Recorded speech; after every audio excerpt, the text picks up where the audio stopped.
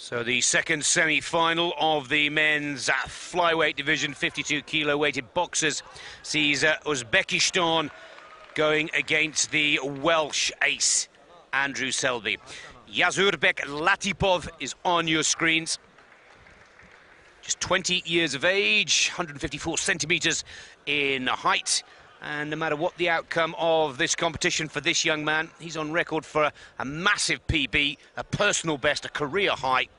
And like all of the boxers who made the quarterfinals, delighted to have made the Olympic qualification but one of the four British GB squad boxers for the 2012 Olympics is up against the Uzbeki boxer, and that is Andy Selby in the blue corner. He's from Barry Island in Wales, 23 years of age, out of the Splott Adventure ABC club, coached by Pat Mahoney, and of course the European champion at the recent championships in Ankara, Turkey. There's the confirmation of that European Championship comes into this World Championship event ranked six. And when he took that European title, the first Welshman to win a European title for 86 years. Older brother, Lee Selby, now a pro, so it's very much a family affair, the boxing game for the Selbys. But the Uzbekistan boxers and I think the Ukrainian boxers, for me, Castle, at these championships, seem to be nations that have improved so much since the last Worlds and the Olympic Games. Absolutely, and you know, let's not discount Latipov. He is a two-time Uzbeki national champion in 2008 and 2009, and most importantly, he's boxed right here in Azerbaijan in the past. In 2007, he boxed in the, in the AIBA World Cadet Championship, so he's familiar with the country. He's familiar with the stage. Let's see if he's familiar enough with Andrew Selby. Let's see if the Welsh Terrier can sort this one out. There's another story that we have to tell about Andy Selby because he's locked in a little bit of a battle with another British boxer, which is uh, Khalid Yafai. They've both qualified for the Olympics at the same weight. Now, the way that a box-off can be avoided by Selby Castle is that it is Selby wins the World Championship, he goes to the Olympics. If he gets knocked out here, he will have to have a private box-off with Khalid Yafai to decide which one of the British flyweights goes to the 2012 London Games. That's a tough process. Yes, it sure is, and it's not uncommon. It happens uh, other countries as well, even in the United States. Those boxers that haven't placed or written their ticket for London at this event actually have to go back to the States and perhaps engage in a box-off just to hold on to this position, which was the U.S. Olympic trial winners. So it is a, it's a tough sport, and there's a lot of competition around the world. And you're right, Selby's in quite a predicament here. Well, we've uh, Selby is the third of the four GB boxers in action today in the semi-finals. Luke Campbell, congratulations, has gone through to the final in his division. Sadly, Thomas Stalker was uh, unable to go into those finals, beaten in the semis. Let's see what Selby can do. Good start for the Welsh boxer settling nicely. But fair to say, so is the Uzbeki boxer too. Yeah, so far it's a tactical, uh, ta a tactical uh, brainstorm, if you will. Both of these boxers haven't really gotten off yet. However, there's a lot of moving, a lot of posturing, and there's a nice quick jab by Latipov to try and set the stage for perhaps an onslaught with the right hand.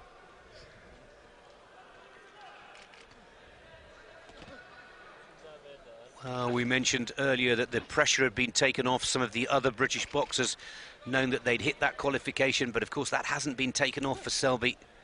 And let's hope that that added pressure doesn't affect the Welshman's game. Latipov getting through the... But using the inside of the glove, the caution from the referee. That's right, and Latipov looks pretty cool in there. He looks like he is doing a decent job measuring his man, but Selby is just staying on top of him and not really giving him much room to breathe. As we've seen so many times at these World Championships, sizing each other up in the first round, and then just about towards the end, it all starts to open up, and that looks to be no different in this semi-final. The Welshman in the blue, of course, Latipov of Uzbekistan in the red.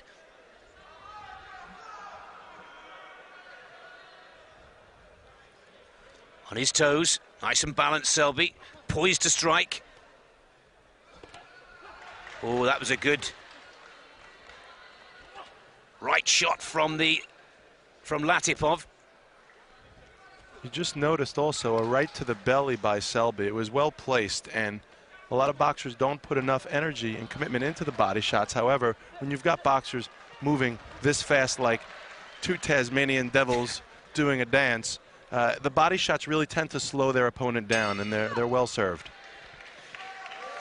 Well, a better finish for the Welshman, but I think the Uzbekistan boxer was putting in a little better work in the first minute and a half of that opening round. We'll wait and see for the judges' scores to come through. But um, again, similar styles, Castle, from both of the boxers. Yeah, and you also have the situation with a southpaw and a orthodox boxer going. You see those two lead feet, how they tend to trip on one another and slip up. That's going to happen throughout the duration of the bout the question of who could get their foot on the outside of the other's lead foot will perhaps indicate who's going to fare better in this match. Well, a disappointment for Andrew Selby. He's trailing by two in the first round, and he'll need to keep on top of that in the second. So often we've seen boxers trailing by two in the first. It goes the same way again in the second, and trying to pull back those four in the third becomes an uphill struggle that can not be achieved. And you can see Selby just looking a little more defensive now, and Latipov by far the more confident of the two. Yeah, well, Latipov had the benefit of two points going into this round to help confirm that level of confidence which he brought with him. And you're going to see Selby now needing to start to put his punches together more and throw more combinations because, as you just rightly pointed out, Nick, the guy with the lead generally has the ability to dictate the pace and play the counterpuncher role, the spoiler role. And Latipov is not going to be able to waste valuable seconds as the round continues. Again, Latipov, his jab is working well. There's the big punch that he's trying to swing around the outside. And again, there's another nice one-two for Uzbekistan in the red. Selby just missing the target, very close. But Latipov is reading his attack very well, we have to say. I'd like to see Selby start to use more feints so that he could get inside more. It looks like Latipov, looking to play the role of counterpuncher, is going to wait for Selby to commit and then try and pick him off. If Selby could throw a, a body feint, a hand feint, Beautiful one-two from the Welshman. It's as if he heard you there, Castle, because as he starts to do just that, yeah, he puts in a lovely combination and picks off two very quick points. And the referee is going to separate them, let them square off again here, just past the halfway point of round number two. Sneaky left hand on the break. The referee is going to caution Selby. Figured if he could get away with it, he would. Welshman's got to keep the tempo going up here. He's uh, having a better scoring round, I'd say, than the first. But equally so, Latipov. Oh, and there's another good hook from the Welshman. And he needs to replay that again. Latipov's letting him get him into the corner and the ropes, and they're trading blows, and there are two good combinations there from Selby. Much better stuff from the Welshman. That's right, and Selby's doing a great job showing more angles. The way he was able to get in there was by using angles and going downstairs and back upstairs, and even there staying in the pocket when he had Latipov on the ropes. Instead of retreating, he stayed on him and just was able to bend back to slide away from the punches while continuing to throw on his own. Much better boxing from the Welshman. Well, is Latipov starting to get a little tired because the second and the final third of this round is starting to look a lot better for Selby. Now it looks like the Welshman's in control rather than Latipov, and there's another beautiful one-two combination, and is he down for a count? No. Good punches nonetheless from Selby. He needs to finish off this round in the same style. Yes, he does. And Andrew Selby trailing by two in the first. Looks to have turned it around, certainly by my card here in the box in the second. It'll be interesting, if not tied, the Welshman could just go ahead after that round. Yeah, I really, really like the way Selby turned it around in the second round. You saw he had a lot more confidence, and as a result, he was able to land more punches by staying on top of Latipov. I don't think Latipov expected that from Selby coming into the second round. He seemed to have been caught a little off guard by those punches and footwork of Andrew Selby. And these replays are showing that the Welshman having a much more look at the look at the information that's coming in. And no matter whatever that information was on after the first round, it's worked on the second. See for yourself there. 12-6 to Selby. And remember, the highest and lowest marks are disregarded, and we take a mean average of the three.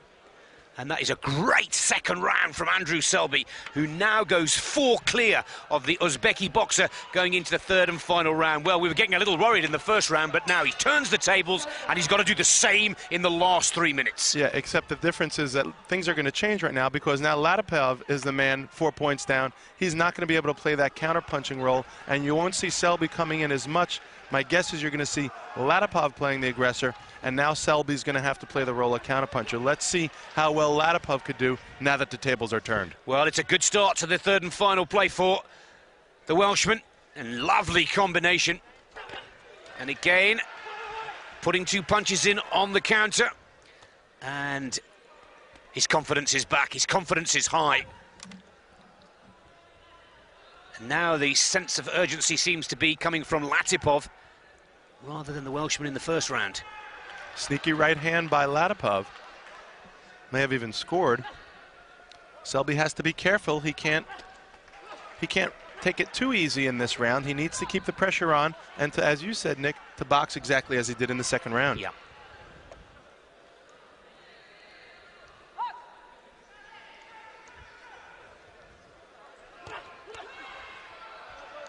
Well, Selby if he can book himself a spot in the final and win the World Championship, the Olympic selection dilemma for the GB squad will be settled.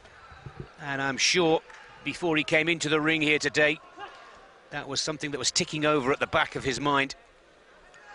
His great friend but great opponent at this weight, Khalid Yafai, sadly knocked out in the quarterfinals. Not knocked out literally, but uh, beaten in the quarterfinals and failed to go through to the semis. Otherwise, we could have seen Selby go up against Yafai. What Latipov is going to need to do now, with just a minute and a half remaining and perhaps still down on the score, he's going to need to be the effective aggressor. He needs to cut off the ring. Selby doing a great job. Look at the lateral movement by Selby. He's moving to his left, he's moving to his right. He's not trying to allow Latipov to get inside and score. This is going to be Latipov's mission for the next minute. He needs to actually cut off the ring, and he needs to start going to the body of Selby to slow him down. Selby's putting in some good jab work as well. And trying to show Latipov that he's sharp and confident. Just don't get too carried away or cocky, Selby, because as Castle Chalice, our expert in the commentary box, has pointed out, this is good ring work from the Welshman. Almost 40 seconds left on the clock in the third and final round. Four points clear, Andy Selby coming into this last round of the bout and 30 seconds now.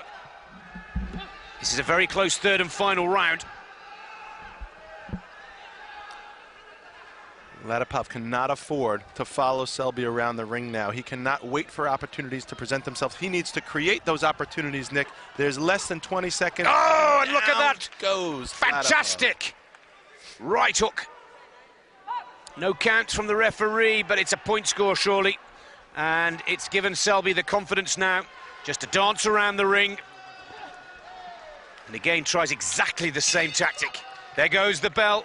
My card in front of me has Selby on top. I'm not sure about Newcastle, but as you pointed out, Latipov not quite effective or efficient enough in that third round. Yeah, he just didn't do enough after uh, clearly winning the first round and after clearly giving up the second. He knew what his task was in the third, and he just could not accomplish it. The Welshman played a very smart game plan, and uh, particularly in the third round, was able to keep Sadapov off him. I don't think, excuse me, Latipov, I don't think he did enough.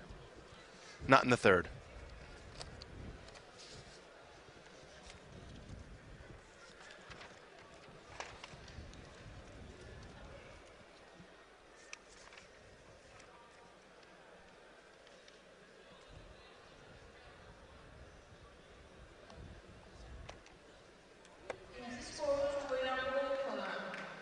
What a spectacular result for the Welshman from Barry. From quarterfinals and Olympic qualification to semi-finals and now a shot at World Championship gold. What a brilliant performance from the European champion who's one step away from adding World Championship gold to this year's tally. 5-3, 12-6, 6-4. Andrew Selby goes through to the final.